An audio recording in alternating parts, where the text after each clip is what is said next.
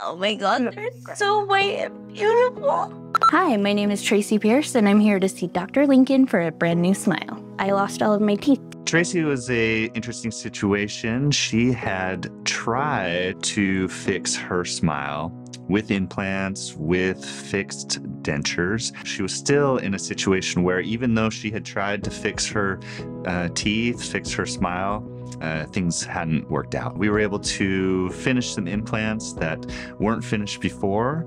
Utilizing the technology that we had, we got her smiling that same day, and she is more bubbly, more smiley. And so that type of turnaround is just what we love to see here. They would just crack. That's what it comes down to. I'm just excited to have a beautiful smile. So, Tracey came to us with the typical anxiety that a patient has when they're about to undergo this procedure.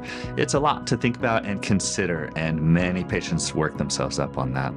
We're used to that, and we pride ourselves in providing lots of different ways to help calm that anxiety.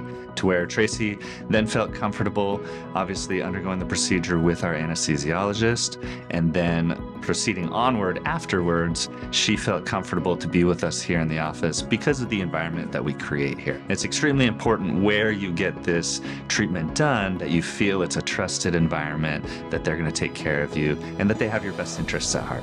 Ooh, the shape is amazing too. Uh-huh. Like so youthful. Oh my gosh. Wow. Yeah, so happy for you.